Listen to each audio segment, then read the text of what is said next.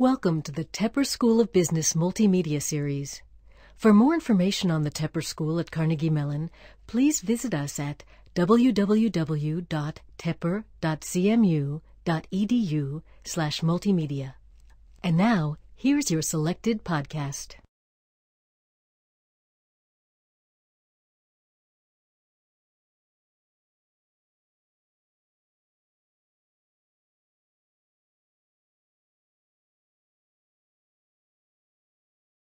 So we were interested in understanding if there is a stable capability of a group to perform different kinds of tasks.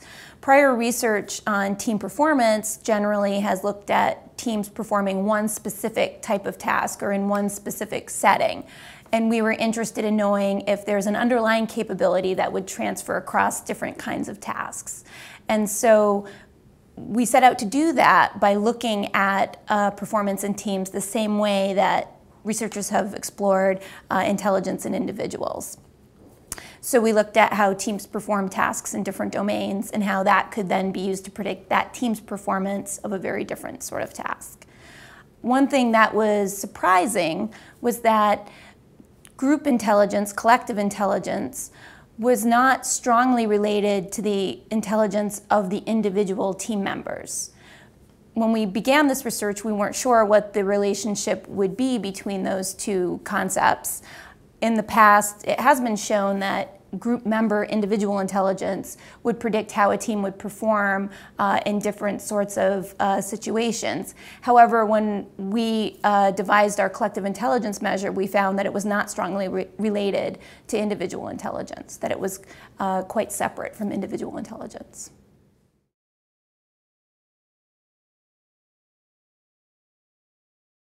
The significant finding really is that there is a consistency to how groups perform different kinds of tasks.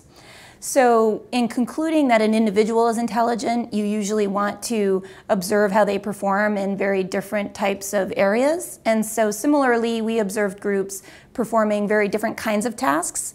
And we found that groups that were good at one kind of task tended to also be good at these other kinds of tasks, suggesting that there's this consistent underlying factor that really drives their performance.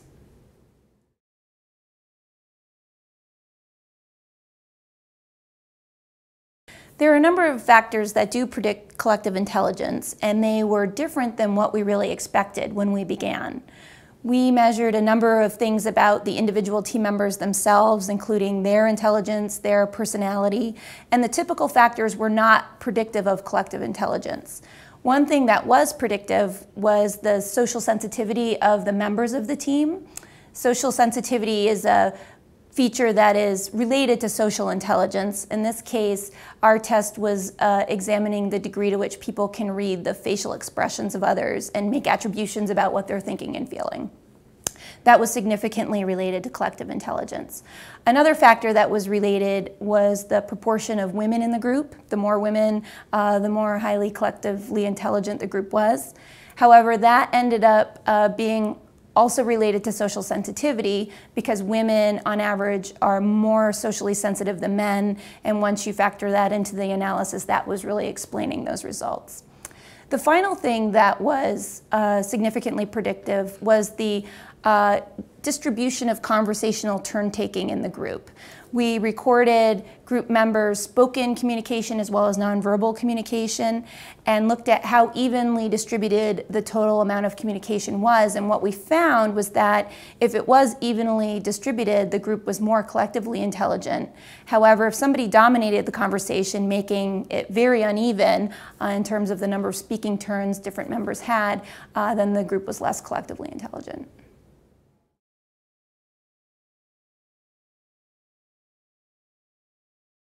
The ability to measure an underlying C factor, uh, something that is consistent in the performance of a group, would then allow you to predict how a particular group is going to perform a novel task in a novel context. Given how much is often riding on the performance of teams, say senior management teams or product development teams, being able to predict better than we can now which teams are going to perform well can have huge benefits.